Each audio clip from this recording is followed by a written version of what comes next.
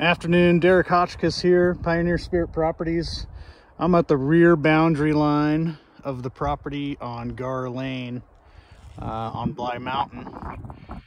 And I'm gonna walk uh, back towards the front property lane, towards Gaur Lane, but I wanted to start here at the rear boundary because I think this is cool. Uh, where I'm looking right now is several thousand acres of U.S. forest land which I believe is all huntable. I got to double check that and I'll post an update.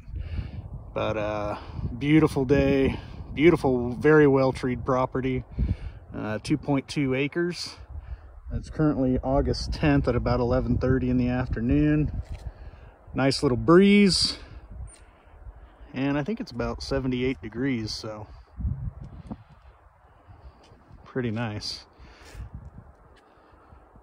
Again, this is the rear property line that borders the National Forest. Um, and I'm gonna pause here and I'll start walking back towards my truck.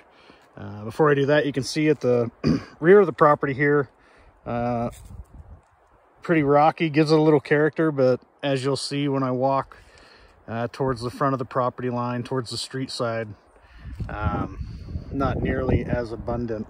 So I'll start walking.